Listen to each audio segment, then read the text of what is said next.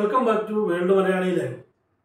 മലയാളികൾക്കെല്ലാം വളരെ വിഷമവും വേദനയും സങ്കടവും തോന്നുന്ന ഒരു ഫേസ്ബുക്ക് പോസ്റ്റാണ് കഴിഞ്ഞ ദിവസങ്ങളായി സോഷ്യൽ മീഡിയയിൽ വൈറലായിക്കൊണ്ടിരിക്കുന്നത്.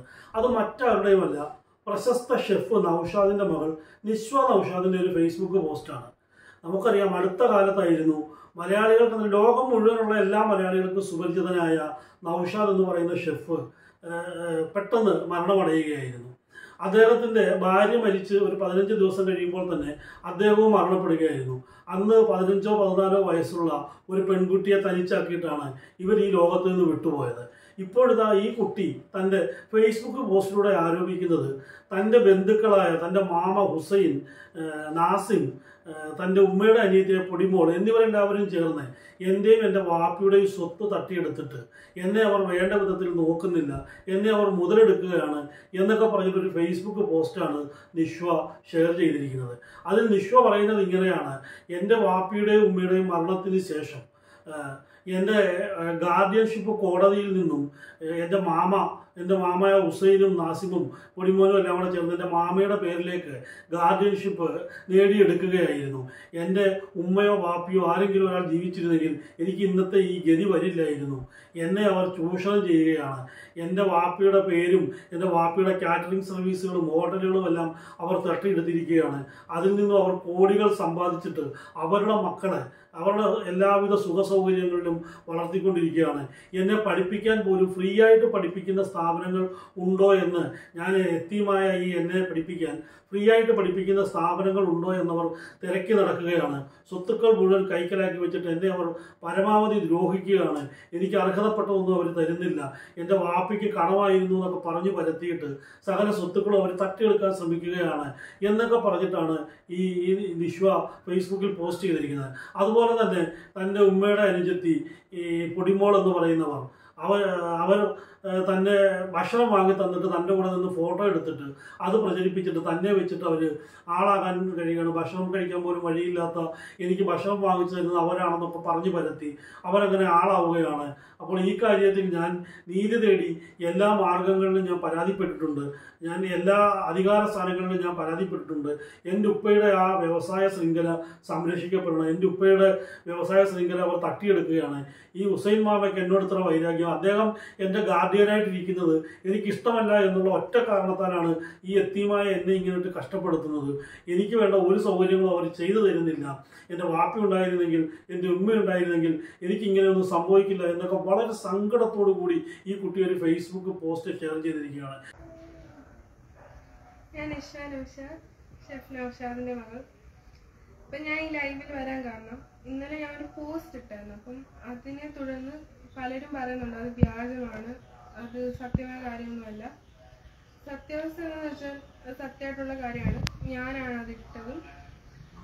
അപ്പം ആ പോസ്റ്റ് ഇടാനുള്ള കാര്യം എന്തെന്ന് വെച്ചാൽ അത് എന്റെ ഉമ്മയുടെ പാപ്പയുടെ മരണശേഷം എന്റെ ഉമ്മയുടെ സഹോദരനായ ഹുസൈൻ സഹോദരി ജുബീന നാസിം ഹസ്ബൻഡ് നാസിം എന്നിവരാ എൻ- എന്റെ പേരും എന്റെ പേര് കോടതിയിൽ നിന്നും ഒരു ഗാർഡിയൻഷിപ്പ് എടുത്തു കോടതിയെ കബളിപ്പിച്ചെടുത്തതാണ്.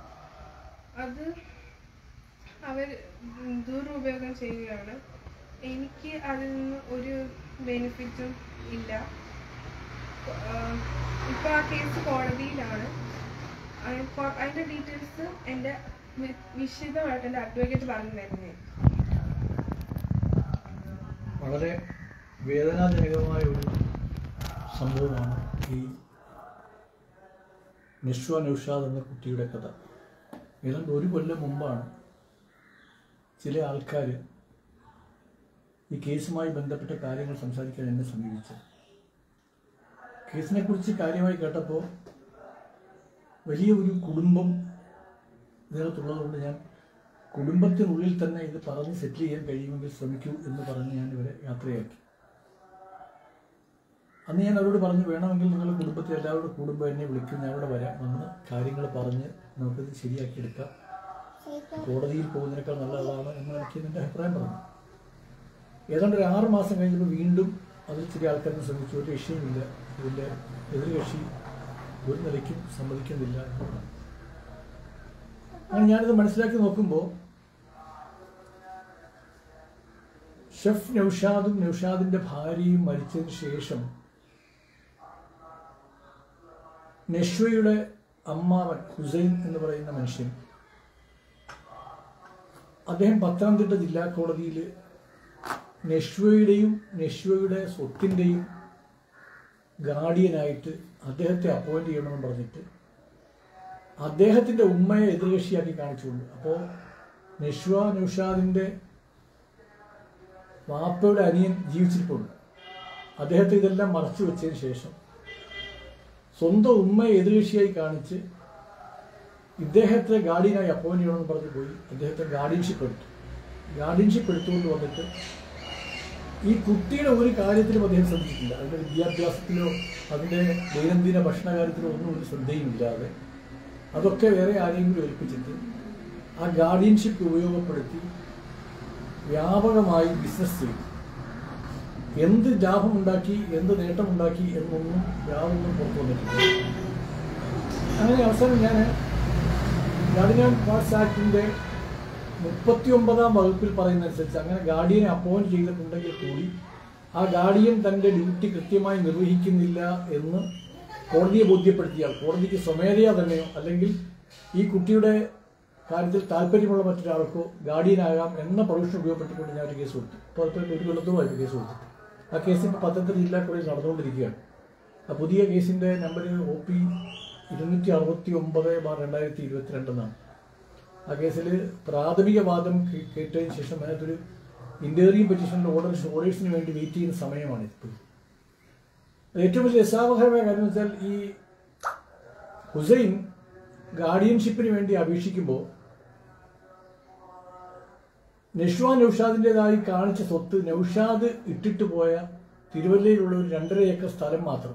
പക്ഷേ ഞാൻ കേസിനെ കുറിച്ച് മനസ്സിലാക്കി നോക്കുമ്പോൾ ആ സ്ഥലത്തിൽ ഏതാണ്ട് ഒരു ഏഴോളം അടുക്കള ഉൾക്കൊള്ളുന്ന കെട്ടിട സമുച്ചയങ്ങളും അതിനുള്ളിൽ ഏതാണ്ട് ഇരുപത് ലക്ഷത്തിലധികം രൂപ വില വരുന്ന മോബിൾ പ്രോപ്പർട്ടീസ് ഉണ്ടായിരുന്നു. ഈ പ്രോപ്പർട്ടീസ് ഒന്നും തന്നെ ഹുസൈൻ കോടതിയിൽ കൊടുത്ത പരാതിയിൽ പെറ്റീഷനിൽ കാണിച്ചിരുന്നില്ല.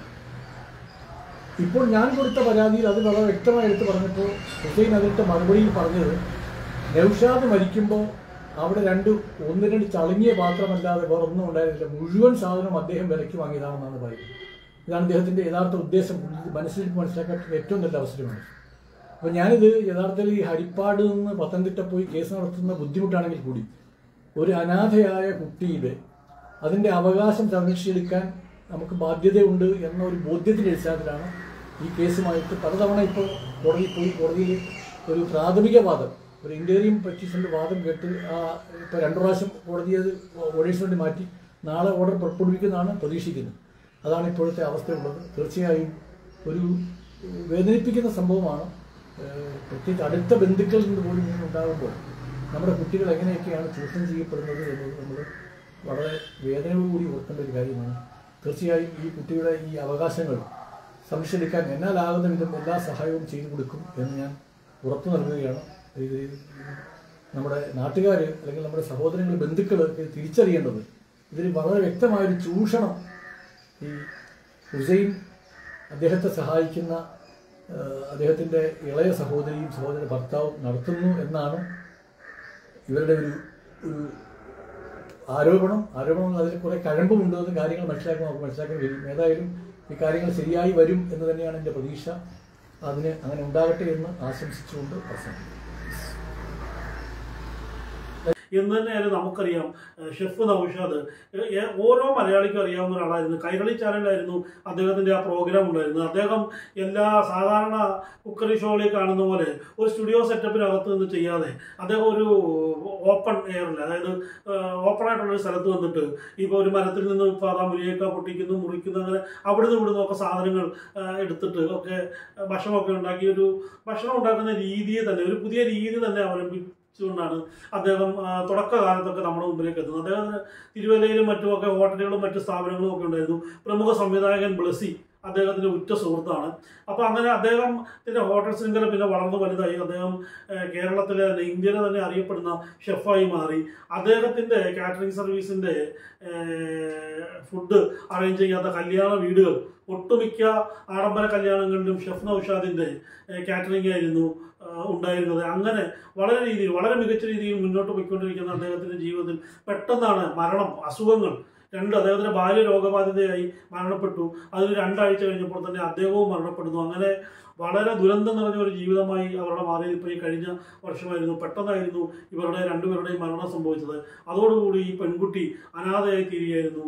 എത്തിയമായി തീരുകയായിരുന്നു. ആ പെൺകുട്ടിയാണ് ഇപ്പോൾ ഇങ്ങനെ അതിന്റെ ബന്ധുക്കൾ ചേർന്ന് ആ പെൺകുട്ടിയുടെ ഫേസ്ബുക്ക് പോസ്റ്റ് സത്യമാണെങ്കിൽ ആ ബന്ധുക്കൾ ചേർന്ന് ഇങ്ങനെ പീഡിപ്പിക്കുന്നത്. നമ്മൾ സിനിമകളിലൊക്കെ മാത്രം കണ്ടിട്ടുള്ള പോലത്തെ ഒരു ക്രൂരതയാണ് ഇപ്പോൾ നടന്നുകൊണ്ടിരിക്കുന്നത്. സ്വത്ത് തട്ടിയെടുക്കാൻ വേണ്ടി ആ പെൺകുട്ടിക്ക് നാളെ ഇനി എന്തെങ്കിലും ഒരു അപകടം പറ്റും എന്ന് പോലും നമുക്ക് പറയാൻ പറ്റില്ല. കാരണം അത്തരം ഒരു സമൂഹമാണ് അത്തരം ഒരു കാലഘട്ടത്തിലൂടെയാണ് നമ്മളിപ്പോൾ കടന്നുപോയിക്കൊണ്ടിരിക്കുന്നത്. അപ്പോൾ നിഷ നൌഷാദിന് നീതി കിട്ടണം. അദ്ദേഹത്തിന്റെ സുഹൃത്തുക്കളായ അദ്ദേഹത്തിന്റെ കൂടെ എക്കാലം അദ്ദേഹത്തിന്റെ സിനിമയിലെ നിർമ്മാതാവൊക്കെ മാറ്റിയെടുത്ത ബ്ലസ്സിയും മറ്റ് ആളുകളുമൊക്കെ ഈ പോസ്റ്റ് കണ്ടു കാണുമെന്ന് വിശ്വസിക്കുന്നു. അവരൊക്കെ ആ കുട്ടിക്ക് വേണ്ടി ആ കുട്ടിക്ക് നീതി കിട്ടാൻ വേണ്ടി ആ കുട്ടിയോടൊപ്പം നിൽക്കുമെന്ന് തന്നെയാണ് നമ്മുടെ വിശ്വാസം.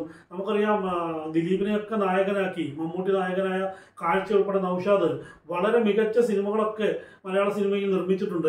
അദ്ദേഹത്തിന്റെ ഹോട്ടൽ ബിസിനസ്സിൽ നിന്ന് കിട്ടുന്ന ആ ഒരു വരുമാനം കൊണ്ട് അദ്ദേഹം ഒരുപാട് പേർക്ക് തൊഴിൽ കിട്ടുന്ന മറ്റു മേഖലകൾ ഒരുപാട് പേർക്ക് തൊഴിൽ കിട്ടുന്ന മറ്റു മേഖലകളിലും അദ്ദേഹം അദ്ദേഹത്തിന്റെ ആ ഒരു ബിസിനസ് ശൃംഖല അദ്ദേഹം വളർത്തിക്കൊണ്ടു വന്നു അദ്ദേഹം സിനിമാ രംഗത്തേക്ക് എത്തിയിരുന്നു. അവസാനം അദ്ദേഹം മരണമടഞ്ഞപ്പോൾ അദ്ദേഹത്തിന്റെ മകൾക്ക് ഉറ്റവരോ ഉടയവരോ ഇല്ലാതായിരിക്കുന്നു. ഉള്ളവരാകട്ടെ രക്തബന്ധത്തിൽ തന്നെ പെട്ട മാമയും കുഞ്ഞുമ്മയും ഒക്കെ ആ പെൺകുട്ടിയെ ചൂഷണം ചെയ്യാൻ ശ്രമിക്കുകയാണ്.